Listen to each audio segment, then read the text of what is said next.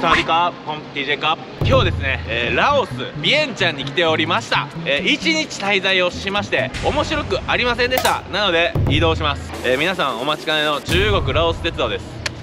これはね闇が深い鉄道でありまして中国の侵略っていうのが切っては切れない関係で中国がラオスに侵略しようとしてるらしくていろいろラオスの人も被害を受けてるらしい。でもうちょっと時間がねあのここまでの道中も後で移すんですけど当日チケット買いました。一番安いチケット。で1人14ドルか、うん、1人2000円弱で買えます。でこれで本気出したら中国まで行けます。インターナショナルトレインになってるんであんな感じで急いで行ってみようかじゃあ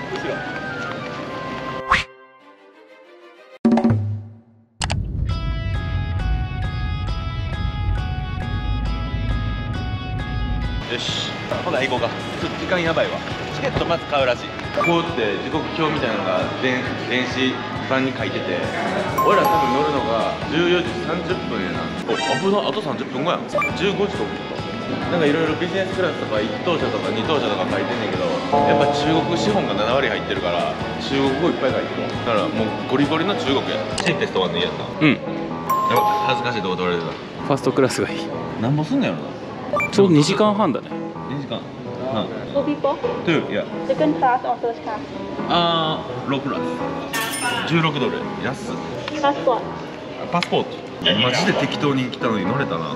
人生適当に無計画でやっても何でもいけるもんやな。いやそんなことない。いけてまうからいつも適当にしてまうのやだって今日なんて朝起きてロマッサージ行ってもう無理やったら明日行こうかみたいなノリやったもんな万平の声うるさかったわ。いや俺声出せへんでもこうやってさ俺らが言うてる冗談は視聴者の方は本気やと思ったりもするんやろな。なんかビエンナちゃんがおるのに風俗なんてビ エンナちゃんがおっても風俗は許してくれてるからな。大変や太一君の付き合いで風俗行くの。あれなんかちょっと違うけど。まあいいや。あかんの？かカードの問題かな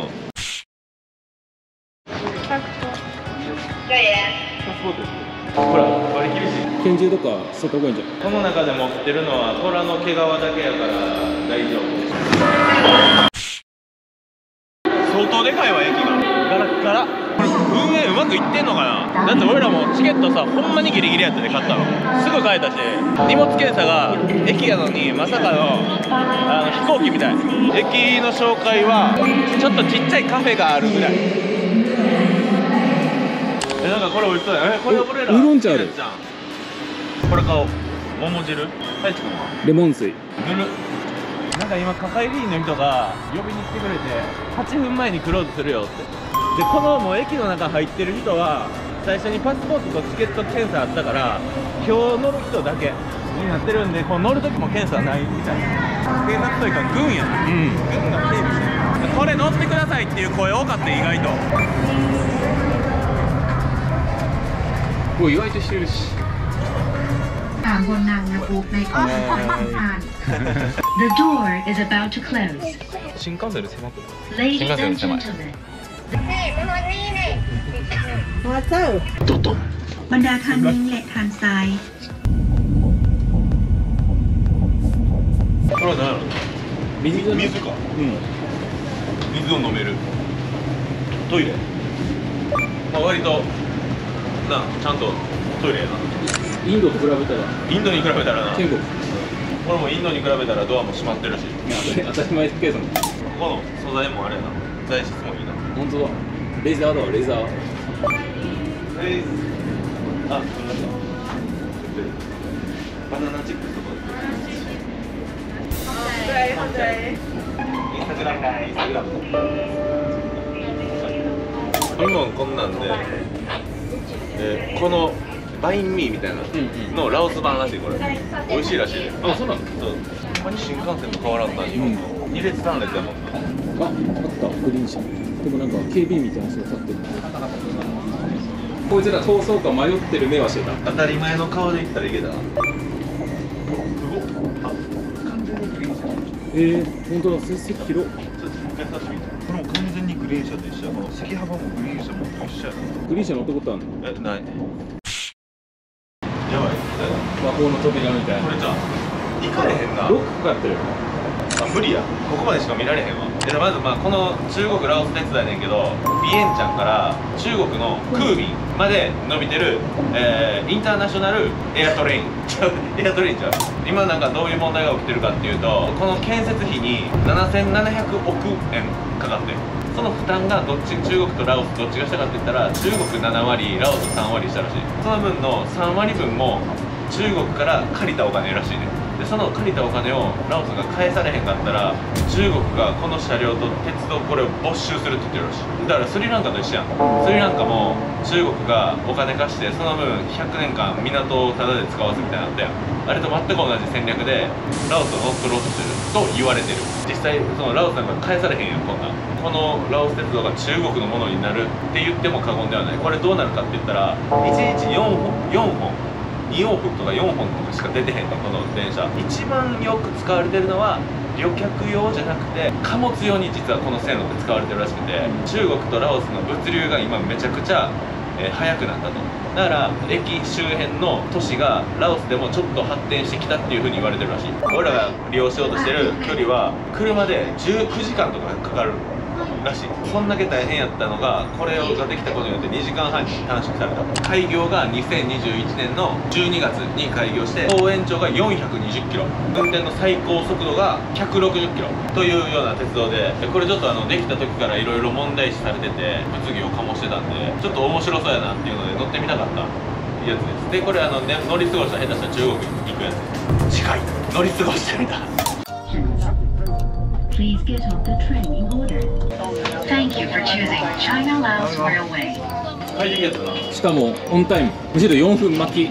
そして見てください。めちゃめちゃ田舎ですなんもないな。おもんなくて移動したらおもろくなるんじゃないかということで移動してきたけどなんもないで。おお。やばいってマジで。なんもないやん。えー、駅でっか。中国って感じすんなお日本語。日本人のツアーが来てるんかなめっちゃギャルやったらどうする？いやギャルこんなとこ来ないわ。海外のバックパッカー疲れたやつが来る。絶対おじいちゃんおばあちゃんやろ。ツアーとかじいちゃんおばあちゃんしかせえへんやろ。今結構批判コメント来るよ。さて。宿取ろうかとりあえず。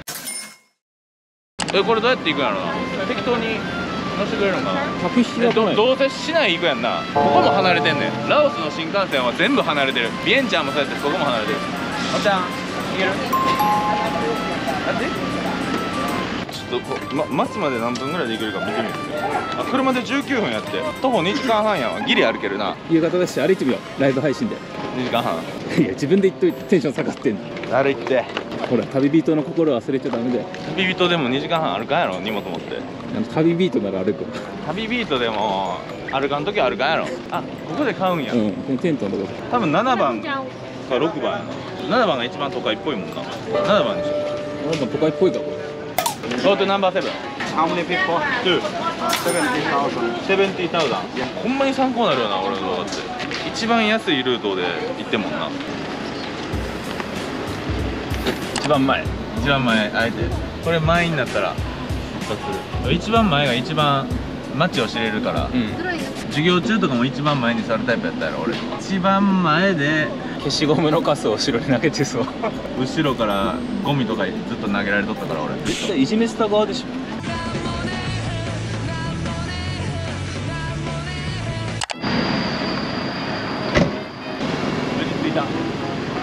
とりあえずチェックインしようか。荷物置いて探検しようか。ライブ配信ご飯食べながらやってんけど多分見てる人も思うと思う。またナイトマーケットだよこれは仕方ないんです。なぜかというとナイトマーケットしかないんです。ラオスにラオス出てベトナムでも行く？ラオスの魅力を深掘った方が一番いいと思う。逆にな。おはよう。まあ一夜沸かして、えー今からまあこれ登っといた方がいいって言われてるやつ。朝もう6時やで。いや9時9時。これは登っといた方がいいらしいから。登ろうか。2万キープ一応水も売ってるんで。水は買っといた方がいいと思います。すごい絶景が見えてるらしいよ。曇りだけど俺らの心の中みたいな。誰が心の中曇ってんの？お。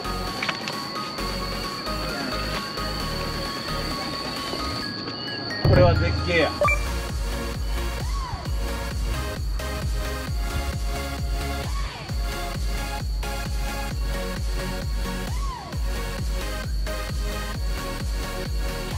水当たりとか全部一緒に見えるんだよな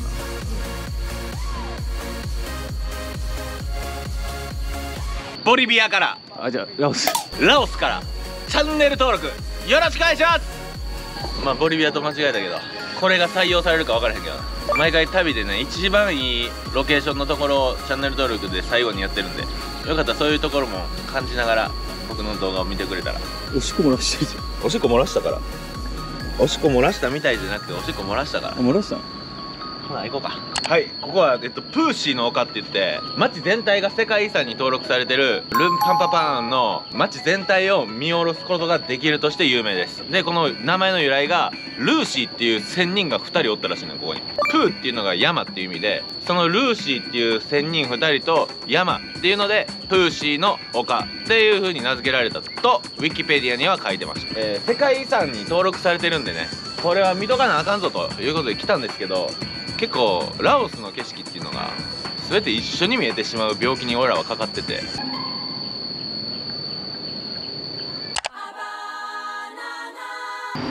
よかったなプーシー。全然元気ないじゃん。どうした？プーシーの丘で喋ってたら怒られた。うるさいって。ヨーロッパのおばちゃんに。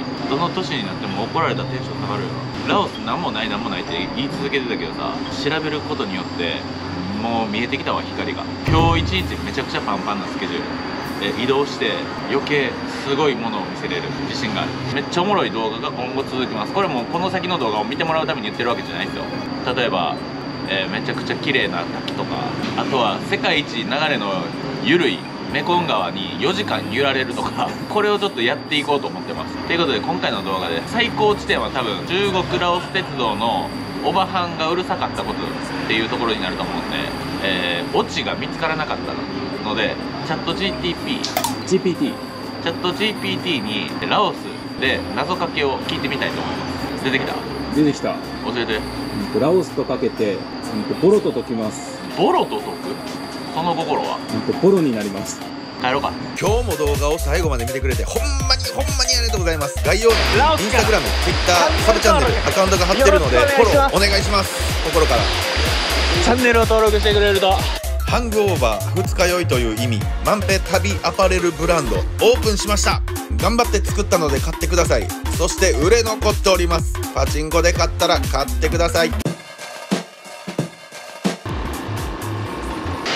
Hey We meet five times.